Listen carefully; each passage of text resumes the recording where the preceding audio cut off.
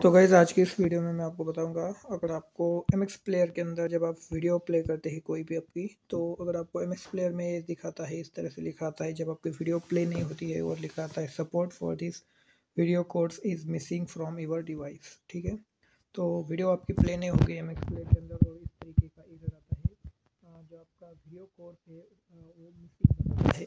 तो किस तरीके से आप इस प्रॉब्लम को सॉल्व करोगे फिक्स करोगे? तो इसके लिए आपको क्या करना है? सबसे पहले वो समझिए कि आप इस प्रॉब्लम को कैसे फिक्स कर सकते हो। तो एम एक्स प्लेयर के अंदर जो वीडियो आप देख रहे हैं, वो जो है हाई क्वालिटी की है और उसमें कोर्स लगते हैं। ठीक है? तो इस केस में आप जो है अपना प्ले स्टोर खोलिए और यहाँ पर आपको सर्च करना है। यहाँ पर प्लेट लिखना है, ठीक है? यहाँ पर प्लेट आप लिख दीजिएगा। यहाँ पर ऑल इन वीडियो प्लेयर इसका नाम है प्लेट इसे कहा जाता है, ठीक है? प्लेट का एप्लीकेशन है। तो बेसिकली जो वीडियो आप एम एक्स प्लेयर में वॉच करने वाले थे एम एक्स प्लेयर में देखने वाले थे, वही वीडियो आपको इसमें शो करनी है। देखिए, यहाँ पर सारे के सारे फॉर्मेट इस सपोर्टेड करता है। यहाँ पर कोई भी कोर्स की ज़रूरत नहीं है।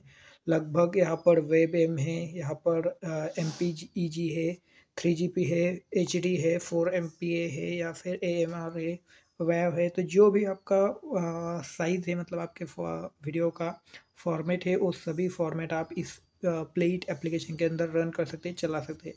जस्ट आप इसे इंस्टॉल कीजिए, सारी परमिशन आपकी जो है स्टोरेज की इनेबल कीजिए एंड आप यहाँ पर फुल एचडी के साथ साथ जो भी अदर क्वालिटी है, वो इसमें आप देख सकते हैं, बिना किसी कोड डाउनलोड किए ही। उम्मीद आप लोग समझ गए होंगे, अगर आपको यहाँ पर ये वीडियो पसंद आती है तो लाइक और चैनल को ज़रूर आप सब्सक्राइब कर ली।